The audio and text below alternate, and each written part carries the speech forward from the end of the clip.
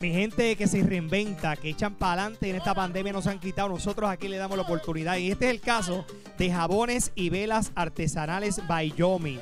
Cuando su mamá sale diagnosticada con cáncer en agosto 2020, Yomi tuvo que dejar su trabajo para poder cuidar de ella.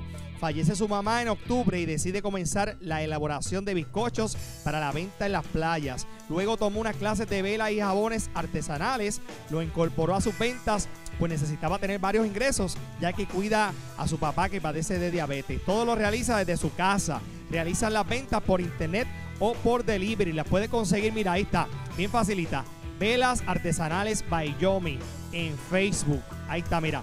Jabones artesanales by Yomi. Y el número de teléfono 939-249-8030. Nosotros vamos a una pausa. Vengo rápido. Este Puerto Rico gana. Eh, eh, esta eh, esta, esta está linda. Huele rico. No, Eso no se come, 40, Tatín. 30.